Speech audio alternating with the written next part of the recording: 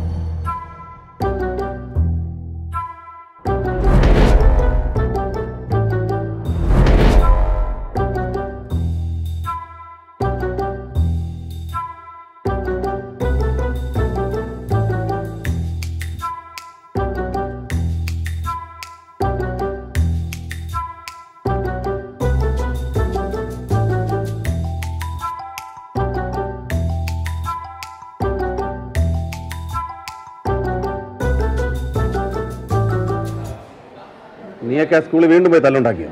സാറേ അമ്മാരും ആദ്യം കൊണ്ട് ചൊറിഞ്ഞു. ഓ ഒരു നല്ല കുഞ്ഞുങ്ങൾ നീ ഒന്നും ഒന്നും ചെയ്തിട്ടില്ലല്ലയോ എടാ നിന്നോടൊക്കെ പല പ്രാവശ്യം ഞാൻ പറഞ്ഞിട്ടുണ്ട്.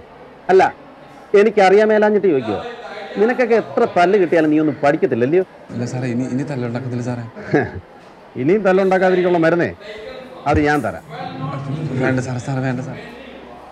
ഓ എന്റെയൊക്കെ കോലം കണ്ടില്ലേ? എന്ത് വേടാ ഇത്? മുടിയും വെട്ടത്തില്ല ഷേവും ചെയ്യത്തില്ല നടക്കുക ഇതിലോട് പിടിക്കണടാ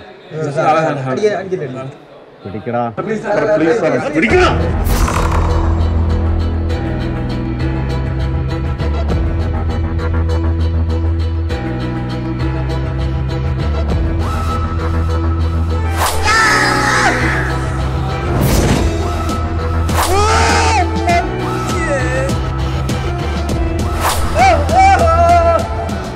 ചന്തി അടിച്ച് പൊടിച്ചിട്ടുണ്ടാ ഇനി എന്തെങ്കിലും കാണിച്ചാണ് ഇതായിരിക്കത്തില്ല.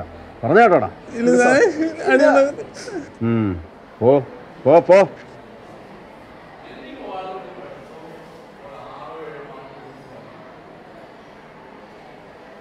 കണക്കിന് കൊടുത്തല്ലേ സാറേ. ആവശ്യം മഹാ തല്ലുപൊളികളാ ഞാൻ നോക്കട്ടെ ടീച്ചറേ. അവന്മാരെ നേരെയാക്കാൻ പറ്റുമെന്ന് സാറിന്റെ കിട്ടി ആരാ നന്നാവാത്ത?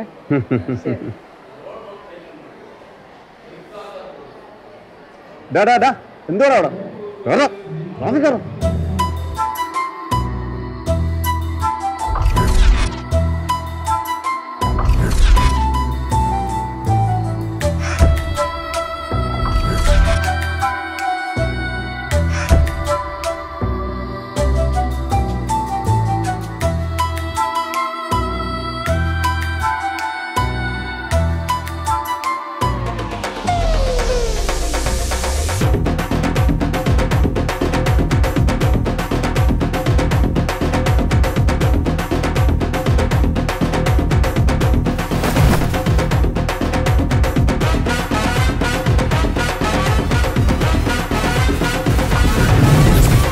ഈ ടോണിയുടെ വീട്ടിൽ റബ്ബർ എടുത്തോളം കാലം നമ്മുടെ ചന്തി സേഫാണ് എന്റെ അമ്മൂമ്മയുടെ ഒരു ചൂരൽ അതൊക്കെ ശരിയാ.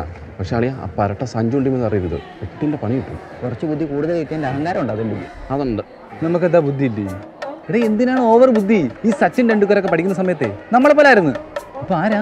എടാ പുല്ലേ സച്ചിന് ക്രിക്കറ്റ് കളിക്കാൻ അറിയാം നമുക്കെന്ത് തേങ്ങ അറിയാം? ഇത് ആ അതേ അറിയുള്ളൂ. എന്റെ പൊന്നു മുടിയാ നമ്മൾ തന്നെ നമ്മളിങ്ങനെ തരം താഴ്ത്തരുത്. അടുത്ത പീരീഡ് ക്ലാസ്സിൽ കയറാൻ നീ വരുന്നുണ്ടോ? നീ വരുന്നോ? എനിക്ക് വലിയ താല്പര്യമൊന്നുമില്ല. നിനക്കോ? പോടാ എങ്കിൽ സോഡാരങ്ങൾ കുടിക്കാം. കാരണം മൂത്രം ഒഴിക്കാനുണ്ട്. പെട്ടെന്ന് ക്ലാസ്സിൽ കയറിക്കണം അല്ലെങ്കിലേ മൂന്നെണ്ണത്തിന് പുറഞ്ഞാൻ പറയും. ഒരു പന്നിപ്പടക്കം കിട്ടിയെന്ന് നീ റണ്ണാക്കി വെച്ച് പൊട്ടിക്കാം. സത്യം. എന്താടാ ഒരു രഹസ്യം പറച്ചല്ലേ? അല്ലേ സാറിന്റെ നിന്നെ നിന്ന് തല്ലി മേടിക്കാതെ പെട്ടെന്ന് ക്ലാസ്സിൽ പോവാന്ന് പറഞ്ഞു. അപ്പൊ നിനക്കൊക്കെ എന്നെ പേടിയുണ്ട്. ആ. ഞങ്ങൾക്ക് മാത്രമല്ല സാറേ. സാറിന്റെ പേരിട്ട് ഈ സ്കൂളിൽ എല്ലാവരും വിറയ്ക്കും. അല്ലടാ. പിന്നെ? ആ അതങ്ങനെയാ? കുട്ടിക്കാലത്തെ ഞാൻ ഭയങ്കര കൃത്യനിഷ്ഠക്കാരനായിരുന്നു. നിങ്ങൾക്കറിയോ? ഇന്ത്യൻ ആർമിയിൽ നിന്ന് വരെ എന്നെ ഡയറക്റ്റ് റിക്രൂട്ട് ചെയ്തത് പക്ഷേ ഞാൻ പോയില്ല. നന്നായി ഇന്ത്യൻ ആർമി രക്ഷപ്പെട്ട്. എന്താ കാരണം? വളർന്നു വരുന്ന കുട്ടികളിൽ കൃത്യനിഷ്ഠയും നിശ്ചയദാർഢ്യവും സമാസമാരച്ച് അരച്ചു കലക്കി അവരൊരു സേനയാക്കി മാറ്റിയെടുക്കണം. അതല്ലേ സാർ? ഗുഡ് അതിനാദ്യം കൃത്യനിഷ്ഠ വേണം നിങ്ങളെ ഞാൻ ബേസ് ലെവലിൽ നിന്ന് കൃത്യനിഷ്ഠ പഠിപ്പിക്കും അതിന് ഗ്രൗണ്ടിലോട്ടോ. ഗ്രൗണ്ടിൽ കൊണ്ട് ഉള്ള പുല്ലെല്ലാം പറപ്പിക്കാനുള്ള പരിപാടിയാണ് ഇതിലും പതും കടപട കണക്ക് പേരിടാ ഓടിക്കോ. സാറേ ഞാൻ കണക്കിന്റെ ടെസ്റ്റ് ഓ ഇവനെ ഒന്ന് നന്നാക്കാൻ നോക്കിയാ നടക്കുക ആ.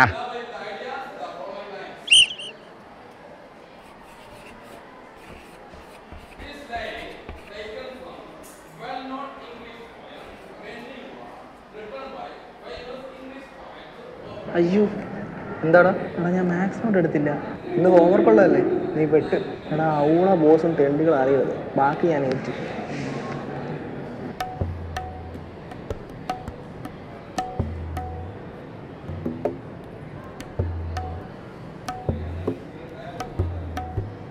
അതെ. നിങ്ങൾ ഹോംവർക്ക് ചെയ്തായിരുന്നോ? ആവശ്യമില്ലാത്ത കാര്യങ്ങൾ ഞങ്ങൾ ചെയ്യില്ലെന്നറിയാലോ. പിന്നെന്താ നിനക്കൊരു അനാവശ്യ ചോദ്യം? കണക്ക് സാറ് ഹോംവർക്കിനെ പറ്റി ചോദിക്കാതെ ഞാൻ നോക്കിക്കോളാം. വെറുതെ നിങ്ങൾ പിന്നെ തല്ലുകൊള്ളുന്നേ? ഇവൻ ഇങ്ങനെ അല്ലായിരുന്നല്ലോ. പെട്ടെന്ന് എന്താ ഒരു മനം മാറ്റം എന്തിനാ നമ്മൾ വെറുതെ ശത്രുക്കളെ പോയി ഇരിക്കുന്നത് ജീവിതം ഒന്നല്ലേ ഉള്ളൂ. അത് നമുക്ക് അങ്ങ് എൻജോയ് ചെയ്യാം.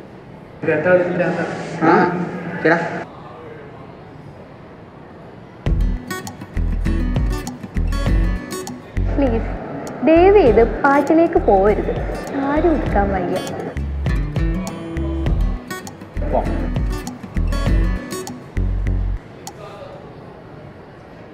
ഇടയ്ക്കിടയ്ക്ക് അവളുടെ ഒന്നും ഒരു കൊച്ചം കിട്ടില്ല നിനക്കൊന്നും ഉറക്കം വരത്തില്ല അല്ലേ?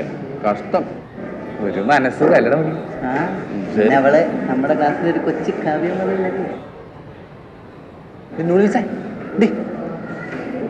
ഉച്ചക്കത്ത് കഴിക്കാൻ. ചോറ്. ചമ്മന്തി. എന്റെ മീൻ വറുത്തത്. വേണോ. ഞങ്ങൾ എടുത്തോളാം. ഓ. ജപ്പാൻ തോളെ. ഉച്ചക്കത്ത് കഴിക്കാൻ? എന്റെ പാത്രം കേട്ടു. വരും നിനക്ക് എത്ര നാളെന്ന് വെച്ചാൽ ഇങ്ങനെ പാത്രത്തിൽ ഇഷ്ടം.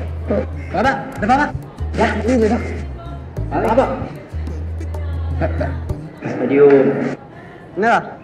നീ കിടന്നോ. ഒരു ഇൻഫർമേഷൻ കിട്ടിയിട്ടുണ്ട്. എന്ത് ഇൻഫർമേഷൻ സഞ്ജു മാത്സ് നോട്ട്ബുക്ക് കൊണ്ടുവന്നിട്ടില്ല. അതെങ്ങനെ നിനക്കറിയാം? ഇന്ന് ഹോംവർക്ക് പറഞ്ഞിട്ടുള്ളതാ. ഞാൻ ഉറങ്ങുമ്പോൾ കേട്ടതാ. പിന്നെ നിങ്ങൾ ഒന്നും രണ്ടും മൂന്ന് മൂന്ന് പേരെയും പച്ചയ്ക്ക് തെറി വിളിച്ചിട്ടുണ്ട്. എന്തായാലും ചകിരിത്തല കൊണ്ട് ഇപ്പോൾ ഒരു ഉപകാരം ഉണ്ടായി നീ പോയി ഇതുകൊണ്ട് ഇവിടെ കിടക്കുന്നു? ഇവിടെ.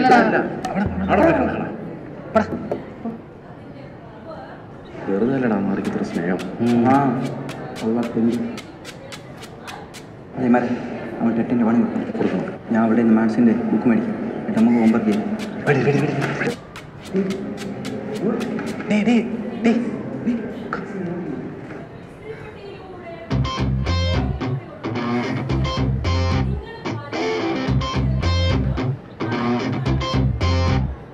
പറ്റുന്നില്ലടാ പറ്റുന്നില്ലടാ.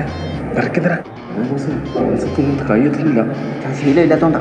രണ്ടു മൂന്നാണ്ട് കഴിയുമ്പോൾ റെഡിയാവും എന്തെങ്കിലുമൊക്കെ വാൽ വരയ്ക്കും ഈ എക്സ് ഈ എക്സും പ്ലസും എന്തോ അത് പിന്നെ പറഞ്ഞുതരാം. പിന്നെ കടുവ് വരുന്നതിന് പെട്ടെന്ന് തീർക്കണേ.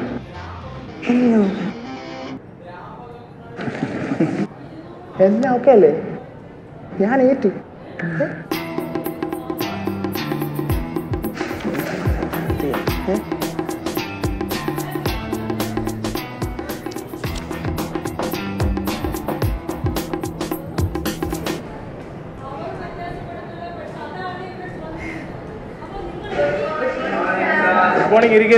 ആ സാറേ ആ എക്സാമിന് വേണ്ടി ഒരു ഇമ്പോർട്ടന്റ് ടോപ്പിക് സാർ പഠിപ്പിക്കാന്ന് പറഞ്ഞായിരുന്നു.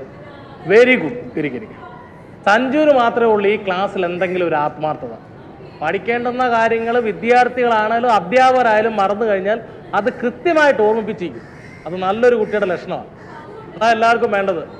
അല്ലാതെ ക്ലാസ്സിൽ പഠിപ്പിക്കുന്ന സമയത്ത് പേനെ നോക്കി ഉപ്പലും മതപ്പിച്ചിരുന്നാൽ പോരാ.